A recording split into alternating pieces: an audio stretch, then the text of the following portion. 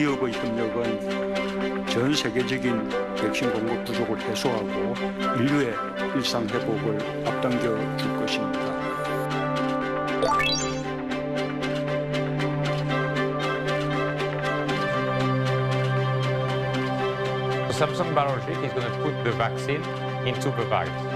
Uh, bottleneck now.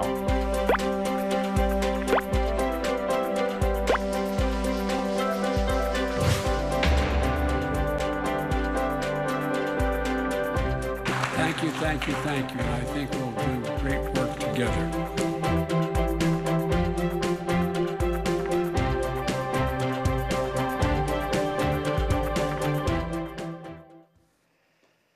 자, 이번에는 문재인 대통령의 미국 방문길 수행한 문승욱 산업통상자원부 장관과 함께 한미 경제 협력, 특히 경제 분야에 관한 협력 주요한 합의들이 있지 않았습니까? 그 부분에 대한 이야기를 나눠보도록 하겠습니다. 장관님 어서 오십시오. 예, 예.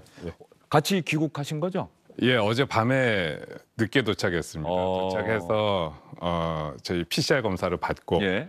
오늘 오전까지 격리 있다가 음성 확인을 하고 지금 나오자마자 방송국으로 왔습니다. 아, 그러시군요. 예, 예.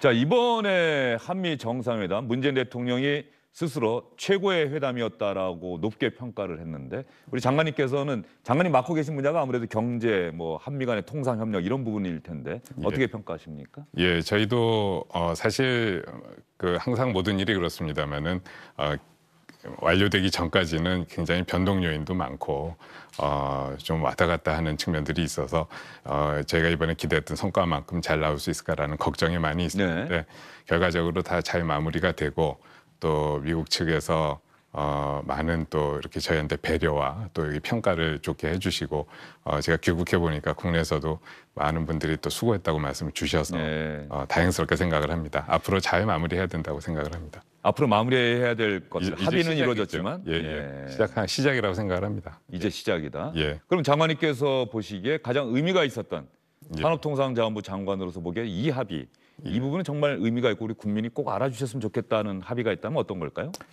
예, 뭐 합의기도 하고 저희가 경제적 성과를 이렇게 따진다고 할 때 보면은 이번에는 주로 이제 공급망 쪽 얘기가 되겠습니다만은 어, 한국과 미국이 서로 대등한 수준에서 서로 보완적인 부분을 어, 이렇게 도와서 함께 어, 여러 주제에 대해서 파트너십을 만들어 나간다. 그 서로 대등한 파트너십을 다양한 주제에서 만들었다라는 게 저희는 가장 큰 성과라고 생각을 합니다. 배터리하고 반도체, 전기차 분야 이런 부분에서 예. 한국과 미국이 서로 협력해 나간다라고 하는 예. 뭐 일종의 그것도 파트너십이라고 할 수 있을 텐데 말이죠. 그렇습니다. 이제 뭐 반도체 같은 경우에는 사실 팬데믹 그 코로나 19 상황이 생긴 이후에 어, 초기에는 그렇지 않았습니까? 중국에서 어, 그 문제가 생기고 그다음에 예. 이제 미국을 비롯한 서구로 이제 문제가 확산이 되고 하면서 어, 락다운이 되고 경제가 공장이 돌아가지를 않고 이렇게 할 때 많은 이제 뭐 확- 확진자가 늘어나는 문제도 예. 있지만 경제가 스톱이 되면서 다들 그, 그 문제가 아, 사업하는 분들은 가장 고민이었거든요. 그래서 미국 기업들도 아, 이 공급망을 아, 보다 안정적이고 그 유연한 공급망을 확보를 하는 게 가장 큰 일이다라고 이렇게 생각을 하는데 그 당시에 아, 가장 그 한 번도 락다운한 적이 없고 공장이 쓴 적이 없는 나라가 우리나라입니다. 그래서 우리나라의 그 강점을 파트너로 삼아서 아무래도 반도체나 배터리 같은 경우는 어, 미국 기업의 그 기술력이 아무래도 좀 그 있는 분야이긴 합니다만은 그거를 이제 생산할 수 있는 그 능력은 또 한국이 가장 우수하다라는 거를 미국이 평가를 하고 어, 한, 미국이 그런 생산 파트너로서 한국을 이번에 어떻게 보면 초청을 요청 내지는 초청을 한 케이스라고 생각을 하고 저희 기업들은 거기에 화답을 해서 이제 투자를 약속을 했다. 배터리 같은 분야도 어, 그 미국에는 사실 미국 자체의 배터리 기업은 없지 않습니까? 네. 그런데 이제 전기차가 점점 어, 확, 지금 확대가 시- 시장에서 크게 확대가 되는 추세에 안정적으로 배터리를 공급해 줄 수 있는 국가 그 기업이 어디냐 할때 이제 우리 기업들이 초청이 된 거고요. 어, 어, 뭐 이런 백신 같은 분야에도 백신을 개발하고 어, 이번에 모더나나 이제 이런 그 파이자 같은 네. 기업들이 이제 mRNA 백신을 어떻게 보면 그 방식으로는 처음 코로나 때문에 이제 선을 보이게 됐는데 이거를 양산을 하려니까 아 그거를 안정적으로 또 신뢰성 있게 양산할 수 있는 나라가 아 그런 기업이 상대적으로 많지가 않더라. 근데 우리나라가 그 세계에서는 두 번째로 이 바이오 의약품 생산 능력을 가지고 있는 나라입니다. 이제 그런 부분이 이제 평가가 돼서 생산 파트너로서 이제 우리가 어떻게 보면 이제 서로 어 파트너십을 이루게 된 거죠. 이런 여러 가지를 볼 때 어, 이런 파트너십을 기반으로 해서 앞서도 아마 좀 말씀을 하신 것 같습니다만은 어, 5G를 넘어서 6G라든지 인공지능 또 어, 원전 공동 이제 수출까지 여러 분야에서 양국이 이제 파트너십을 만들어 나가자라는 이제 그런 어, 틀이 형성이 된 게 저는 가장 큰 성과라고 생각을 합니다.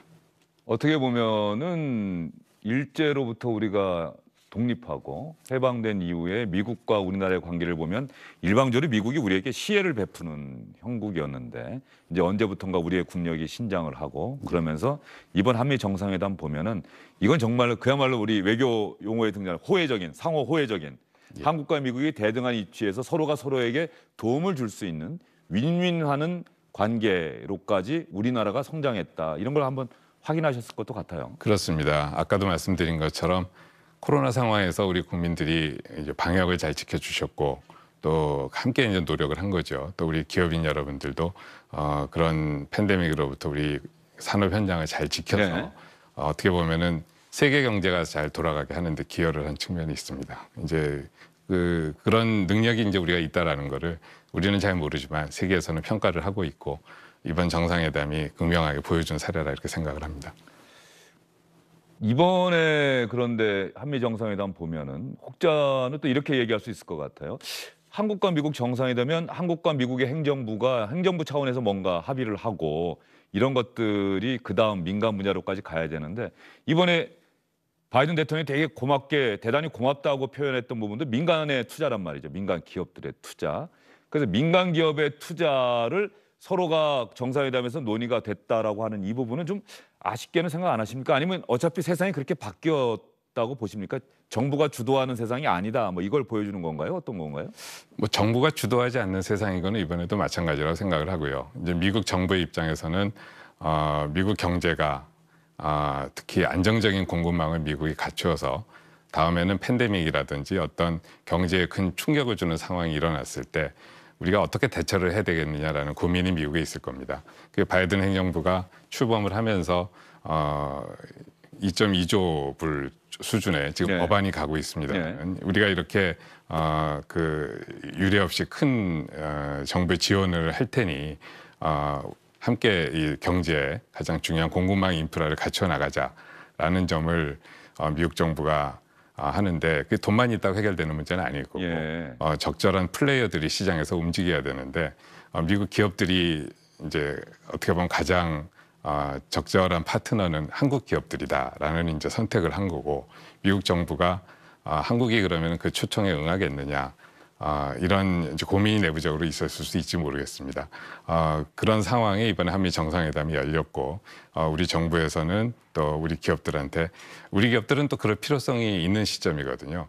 어, 그 미국 기업들이 그런 미 국내 공급망을 구축을 하려는 상황이 있을 때 아, 우리가 먼저 가서 시장에 선점을 하지 않으면 네. 누군가 다른 플레이들이 와서 또 선점을 하게 되지 않겠느냐.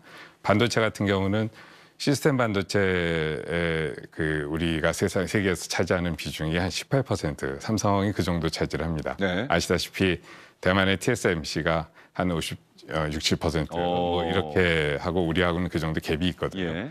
근데 그 이 파운드리 회사의 상대방은 이제 팹리스 회사들이고 어, 세계 팹리스 회사들의 한 57, 8%, 60% 가까이는 다 미국 회사들입니다. 우리가 잘 아시는 퀄컴이라든지 뭐 엔비디아라든지 네. 이런 회사들이 어, 미국 내에서 이제 반도체를 생산해서 우리가 설계를 주면 생산해서 받겠다라고 이제 정책을 가고 있, 있는데 그거에 맞춰서 대만의 TSMC가 미국에 공장을 여섯 개를 추가로 신설을 하겠다. 어. 그리고 파운더리를 안 하려고 했던 인텔이 다시 파운더리 투자를 하겠다. 예. 이제 이런 움직임이 나는데 예. 삼성전자를 비롯한 우리 기업들이 가만히 있다가는 시장을 뺏기게 되죠. 어. 그럼 우리는 또 이제 그런 투자를 해야 되는 거고 어, 이런 이제 관계가 있고 반도, 바- 배터리 같은 경우도 지금 전기차 시장이 급속하게 커지고 네. 있지 않습니까? 그렇게 커지게 되면 누군가 안정적으로 배- 그 전기차에 들어가는 배터리를 공급을 해줘야 되는데 미국의 배터리 공장은 지금 테슬라가 짓고 있는 기가 팩토리 그거는 테슬라가 스스로 이제 필요에 따라서 공급을 받기 위해서 짓고 있는 거고 포드라든지 어, GM이라든지 어, 기존의 자동차 회사들은 배터리를 안정적으로 공급받을 파트너가 누구보다 중요한데 다 우리 기업들을 이제 선택을 한 거죠. 예. 이제 이런 경우는 이제 우리는 다른 기업이 와서 어, 그 시장을 뺏기 전에 우리는 선제적으로 파트너십을 해서 공급을 이제 시장을 선점하는 게 필요한 시점이고 어, 이 시점에 미국 정부가 마침 정책적으로 바이든 정부가 어, 정부도 지원을 많이 해줘서 어, 공급망을 어, 우리가 신속하게 구축을 하자 이런 시점에 우리가 안 가면 누군가 다른 기업이 선택이 예. 되고 우리가 먼저 가서 정부 간에 아, 이렇게 좋은 분위기의 정상회담을 맞춰서 아까도 잠깐 나왔습니다마는 바이든 대통령께서 고맙다라는 그 말씀을 여러 번 하시는 예. 이런 장면이 우리 기업들에게는 앞으로 아 우리 투자가 안정적으로 그리고 어떻게 잘하면 지원도 받으면서 갈 수 있겠구나 그 기회를 지금 놓쳐서는 안 되겠구나 이런 서로 타이밍이 잘 맞은 것 같습니다. 예. 아, 우리에게는 여러 가지 좋은 시점에 정상회담이 열리고 어, 그런 부분이 잘 연결이 되도록 어, 저희 정부도 노력을 했다 이렇게 보시면 되겠습니다. 예, 알겠습니다. 전반적으로 이번 정상회담사에서 경제 분야 쪽에 대한 얘기는 장관님께서 잘 설명을 해주셨는데요. 이제 맞춰야 할 시간인 것 같은데 짧게 한번 이 말씀해 주시겠습니까? 원전 부분은 협력, 원전에 관한 협력 부분이 있었는데, 예. 그러니까 많은 국내 분들은 현 정부가 탈원전 정책을 추진하고 있는데 또 외국 정상과 만났을 때 원전 분야 협력이라고 하면은 조금은 이거 머지할 수도 있을 것 같아요. 저희가 탈원전이라는 표현 때문에 많은 분들이 네. 오해를 하시는 부분이 이제 원자력 발전을 전혀 안 하는가 보다 어, 이렇게 생각을 하실 수 있는데 우리나라에 지금 원전이 24기가 있습니다. 네, 아직까지. 네, 지금 짓고 이- 있는 게 이제 승인이 나면 26기까지는 예. 일단 늘어나는 게 계획이 있는데 어, 저희가 고리 원전이 이제 78년에 가동을 시작해서 지금 43년 정도 가동을 예. 했거든요. 근데 저희 스케줄로는 앞으로 60년 이상을 더 이 원전들을 줄여는 나갑니다. 아, 됩니다. 예, 아, 우리가 원전을 이제 줄여 나가는 이유는 우리가 너무 한 군데 밀집된 곳에 지금 원전이 지어져 있고 예. 대도시가 가깝고 지진도 경주하고 포항에 최근에 나서 저희가 후쿠시마 원전도 겪어봤습니다만은 많은 분들이 원전의 그런 외부적 취약성 에 이제 좀 걱정을 많이 하시는 거죠. 안전의 문제가 혹시 없는지 그리고 사용 후 해결료가 쌓여 나가는 문제는 어떻게 해결할 건지 네. 이런 문제에 대해서 내부적으로는 걱정을 하지만 저희가 가지고 있는 원전 기술은 어디 다른 나라에서는 사실 수요가 많이 있을 예. 텐데 미국과 같이 손을 붙잡고 어 그 저 원전의 어떤 수용성이 높은 지역에 수출을 하는 데는 아무 문제가 없을 거고 어 양국이 기술을 합쳐서 어 지금 원전을 계획을 하고 있는 나라들을 저희가 함께 진출할 수 있는 기회가 이번에 생겼다. 그렇기 때문에 국내 어떻게 보면은 어, 원전 산업에도 좋은 희소식이 되지 않을까 이렇게 생각을 합니다. 알겠습니다. 이번 문재인 대통령의 미국 방문 함께 수행하고 돌아온 문승욱 산업통상자원부 장관과 이야기 나눠봤습니다. 오늘 말씀 잘 들었습니다. 예, 감사합니다. 오늘 주영진의 뉴스 브리핑이 준비한 순서는 여기까지입니다. 시청해주신 여러분 고맙습니다.